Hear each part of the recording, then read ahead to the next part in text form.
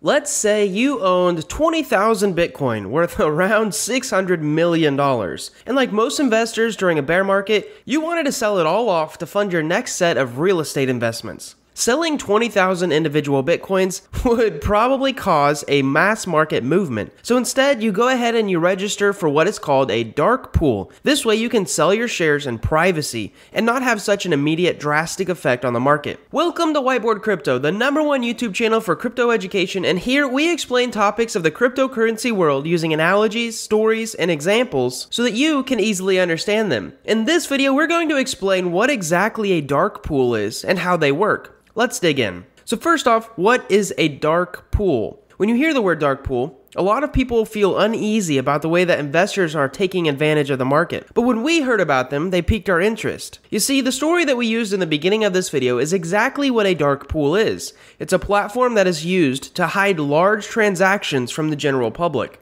Now, this can be used to avoid slippage, to avoid causing prices to plummet, to avoid the fear that comes from seeing a whale selling their coins, or just to get an average price for a large number of crypto.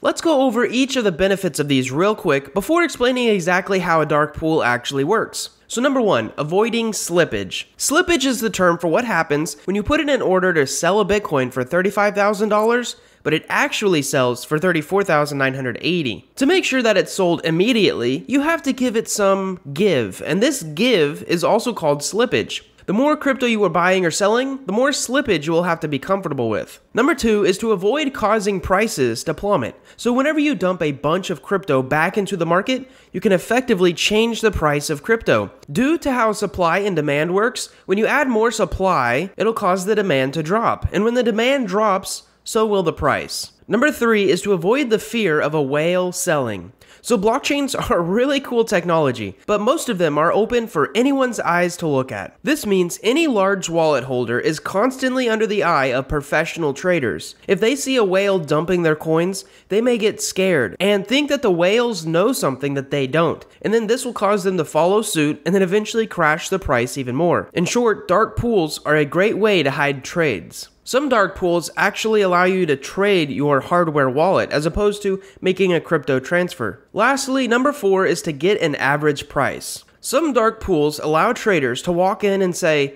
I have 20,000 bitcoins to sell and I want a guaranteed price for all of them. What can you give me? Then the dark pool will return a price that they can afford, and that will allow the seller to know exactly how much they can actually sell their bitcoins for, instead of guessing how much they may be worth. So moving on, let's get into how a dark pool actually works. So they work in an interesting way, and they're usually for large investment portfolios that are selling a large amount of crypto each and every day. Let's use the platform Kraken for example. Kraken actually has a specific dark pool where they have buyers and sellers committing to a certain amount of Ethereum or Bitcoin. For the Kraken dark pool, the requirements are currently $100,000 of Bitcoin or $50,000 of Ethereum. Now, most dark pools use what is called limit orders compared to market orders. These are actually really technical terms which come from the traditional finance world. In fact, if you've ever played RuneScape, a limit order is like the Grand Exchange, where you set the price of something you want to sell and then maybe it will be filled, but maybe not. However, you get to determine the price at which it sells,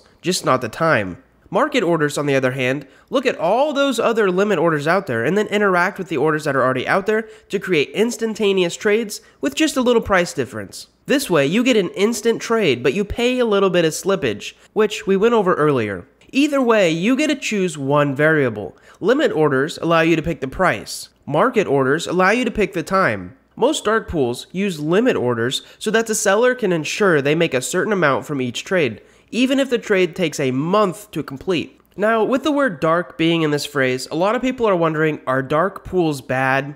This is the part where many people actually have an issue. They don't really know if dark pools are really good or bad, at least for average investors like us. In fact, in traditional finance, dark pools are only available to people with a large, large amount of money so it automatically feels secretive and cultish. However, we are an educational and entertainment channel, so we want to help you understand the pros and cons of them just a little bit more. So, one of the main issues that people have is that these investors are trying to be secretive with their money, which actually is one of the benefits of using a blockchain. You can stay anonymous. However, some people believe since whales have a lot of power, they should be careful with that power and use it responsibly. In the end, Whales are simply investors like us, trying to make a profit or advance a project. Next up, we're going to talk about market manipulation, because market manipulation is probably the largest concern investors have when they first hear about dark pools. Can't they crash the price? Can they spike it too?